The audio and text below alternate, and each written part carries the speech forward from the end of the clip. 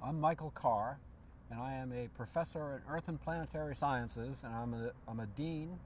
I'm the dean of uh, mathematical and physical sciences here in the School of Arts and Sciences at Rutgers. When I was an undergraduate, I went to Dartmouth College, and while I was there, I got interested in volcanoes, and that was one of the few places where there was a PhD program studying volcanoes, so I stayed there and got a PhD.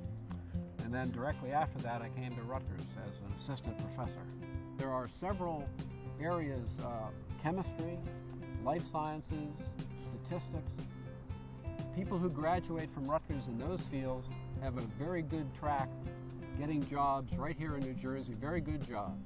So in my field, which is uh, earth science, there aren't that, you know, this is not a place with a lot of mines or a lot of oil wells. And so what we do is we train people very well so they can go and get jobs, but they end up in Houston, for, you know, for the oil industry.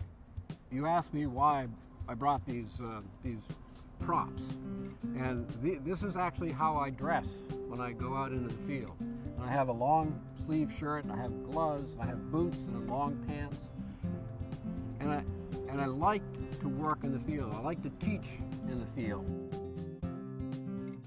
if you're the sort of person who likes the outdoors, and if you like a certain degree of informality, then geology is really good because we're not a formal sort of uh, place. We don't wear ties all that much. We have uh, one research group that works right here in New Jersey, and they drill through the coastal plain, bringing up the record of, of history that's preserved in rocks. And we have other faculty who are working in Africa. I work in Central America. We have other faculty working in Indonesia.